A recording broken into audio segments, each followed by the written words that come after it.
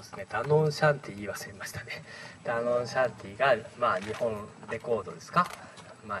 レースレコードで、えー、買ってますけどちょっと馬場が硬すぎたのかちょっとお休みになってしまいましたね。はい。ギムレット、タニノギムレットです、えー、ダービー馬はダービー馬からというのが、えー、まあイギリスの、まあ、格言じゃないですけど、えー、まあ馬産をやってるものの、えー、一番の目標なんですがまあそんだけその国がダービー馬っていうのは強い馬を選定している。またダービー馬の子がダービーを勝つような遺伝のゲームをしているっていうことの一言で表すとダービー馬はダービー馬からなんですけどなかなか日本っていうのは輸入種牡馬にずっと頼って国内の脂肪馬の負ける競馬ばっかり見てきたんですけどまあどうやらブライアンズタイムトニービーサンデーが来た時代時代から日本に合う馬は日本の馬のが強いっていうか日本の脂肪馬の方が強いんじゃないかっていう感じになってきまして、えー、この馬も、えー、実はサンデーサイレンスが入ってなくてサンデーと戦ってダービー馬になったっていうことはすごい強いわけですよね。えー、そしたら、えー、またウォッカというメスなのに、えー、ダービー馬が出てしまったということでそれもまたサンデーの血を頼らずに、え自分のあの血で、え走らせてしまったということで、まあ、どっちかというとウォッカの方が種馬らしい体型をしております。け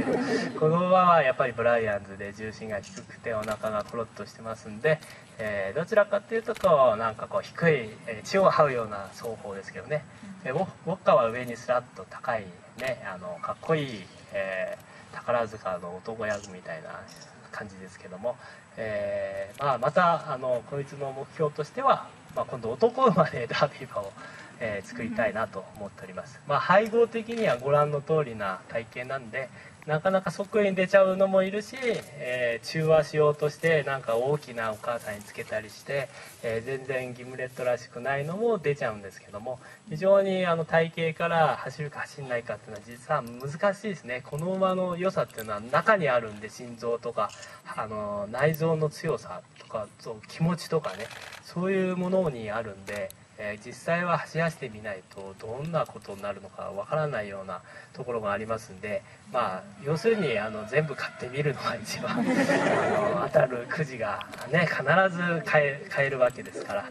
まあギムレットの子は全部買うっていうのがまあまあ当たり前なことですけど一番あの確かかなと思っております。それにはお金を一生懸命働いて稼いでいただくということですね。はいありがとうございました。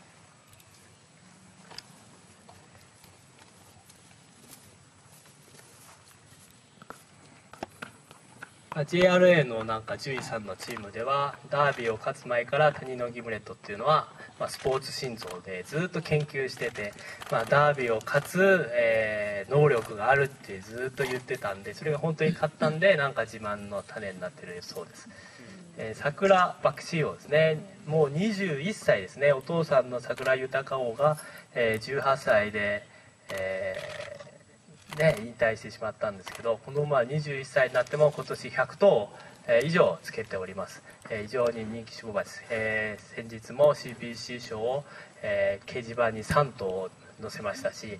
えー、今年で、えー、JRA の、えー、受賞価値も25勝26勝ですかね、えー、今年も3頭 AC ホワイティとか勝っておりますんで、えー、まあコツコツコツコツ頑張っております。えー、特殊能力があるものですからサンデーサイレンスの決闘とぶつからずに、えー、ここまで、えー、根を生やしてまいりまして、まあ、なんとか桜豊をテスコボーイと続くうちを、え残したいと思うんですがなかなかあの3区のあの父兄が反映しないもんですからエアジハードの方はこの間昭和モダンっていうのは買ってなんか守護馬に将来なるって書いてありましたんでまあエアジハードに負けないように桜爆笑の地でも、えー、種馬に、えー、なってエースになってほしいと、えー、今頑張っております、え、湘南カンプとか守護馬になったんですけど、え、その先がじゃあ反映するかどうかっていうのはまたわからないことなんでなんとかうちでも、え、この馬の子で守護馬を作りたいと思っております。えー、明らかに2歳戦から勝ってあとダーツ芝問わず1200を中心に活躍する守護馬の一頭です。はいありがとうございました。多少あの衰えというか年を感じるとこもありますし21歳にしてはまだ背中の張りもいいですしね、まあ、健康だと思います。まあ、禅のロブロイですね。皆さんのカタログに禅のロブロイ3区があるということは、えー、すごい、えーえー、羨ましいというか今一生懸命探してもなかなかも